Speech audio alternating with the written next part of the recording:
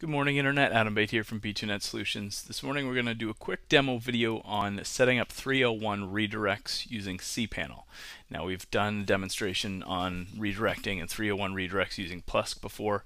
Uh, this morning we're going to go into um, setting up the redirects in cPanel. With cPanel it's a little bit easier to sort of understand and visualize uh, because the uh, sort of the management tool for redirects is a little bit uh, user friendly um, or a little bit more user friendly than, than it is in Plesk.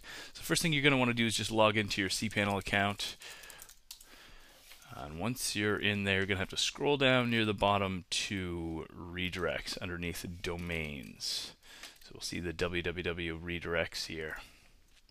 Um, and this brings us to the redirect management tool, and you can see first thing you're going to want to see is type. You'll see permanent 301 or temporary 302.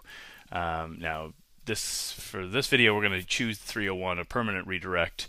Um, 301 redirects basically pass all uh, benefit of links and age through to um, a new domain. So if you're rebranding um, to you know olddomain.com to newdomain.com you're going to want to forward olddomain.com with a 301 redirect. Now if you're developing sort of a, a new website um, and in the meantime, you you want to forward traffic to a different domain or a different URL, you'll want to use a temporary 302 redirect. Um, but we'll go into more detail on that in another demonstration video.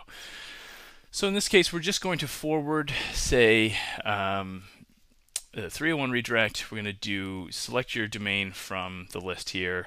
Uh, you can forward all of your domains at once by, by choosing the all public domains option. In this case, we're going to choose the coffeebean.ca.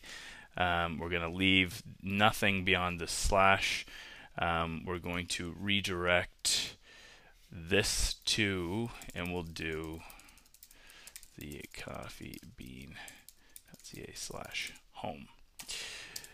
Um, so redirects to, you're going to enter the URL in there that you want it to redirect to. Um, now down here you can choose whether or not you want the www dot to redirect um, or if you just want the root domain, or if you want both.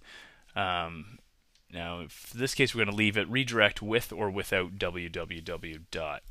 Um, if you want only to redirect the www, you can choose this. If you want to not redirect the www, choose the option on the far right. In our case, we're going to do both, um, and then click Add.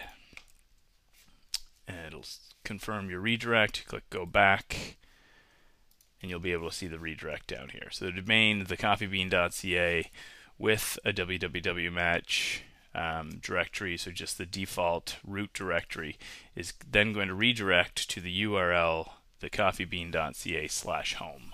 So in this case, if you had sort of a, an intro page or a splash page, or if you developed because of a, a content management system or some other um, you know CMS type program, you know you had to have a directory structure with slash home or um, you know slash root or what have you. If you needed to develop within a specific directory in your root directory, um, this will be one way to set up that redirect. So once someone lands on the coffeebean.ca or yourdomain.com, it automatically forwards to your sort of home directory uh, within your website. So that's all there is to it. Um, if you remember the Plesk video of the 301 redirect, it was a little bit less intuitive. Um, this sort of spells out whether or not it's a permanent or a temporary redirect. Um, very easy to to manage and visualize all of the redirects you have going on for for each of your domains.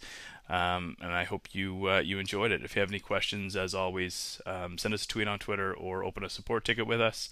And hope you have a great day.